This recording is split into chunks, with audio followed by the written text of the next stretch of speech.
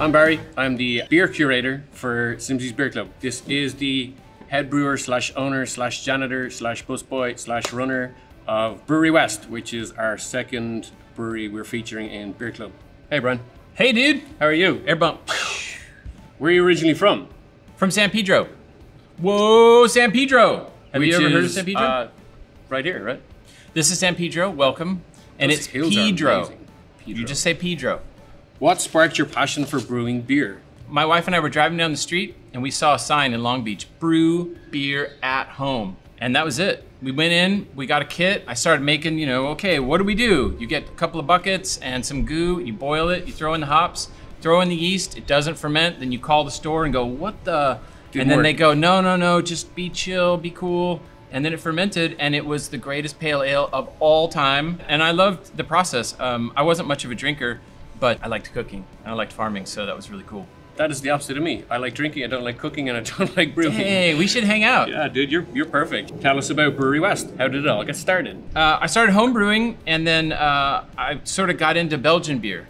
That's how we got started. I, I started brewing at night at a brewery down in Orange County that's no longer open. I would roll in there at nine o'clock at night, mash in. I would brew till nine o'clock in the morning, and then I would take my little Toyota truck and go pick up kegs, and I would drive them around and drop them off to brew, to uh, bars and, and restaurants all over LA and Orange County. Simmzy's, in fact. Yo, Simmzy's. Um, Micah, I believe, uh, made the first purchase, first keg. So Simmzy's was our first Simmzy's Manhattan Beach. Do you want to talk about the beers that we are actually picking for Beer Club now? Okay. Beer Club. Do-do-do-do-do.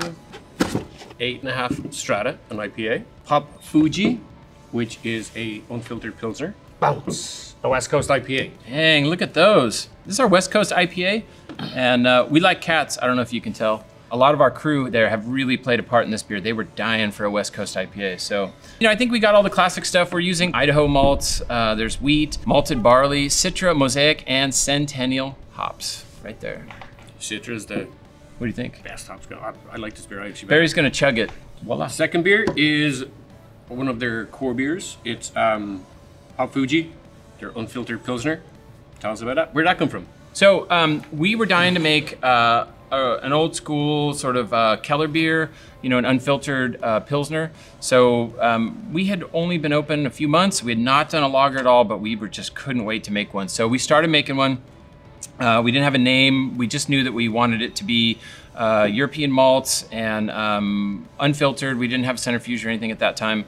Um, and we really wanted to can condition it. This is an ode to Mittelfrüh hops. So all Mittelfrüh hops in here. It's almost like an eight and a half. So, and then this is your newest style of beer, right? Single, single Yeah. single hop type beer, I believe. So this is eight and a half uh, strata, and uh, we love these little beers. It's an opportunity for us to, you know, have a same malt profile, uh, raw spelt, uh, malted barley, and um, and then all one st- one uh, type of hop. And this month it's uh, strata. Who does your artwork? Well, uh, we work with about 30 artists or so, and then several designers to put this together. It's it's kind of a mix. I typically buy art and then work with our designer. A lot of times I'll come up with a concept, then work with the designer to help get it on the can. That's definitely one thing about Brouwerij West that sticks out is their artwork. Somebody up there somewhere knows what they're doing. All right, cheers, big ears. That's an Irish saying. Did you know that? Uh, no, I've never been there.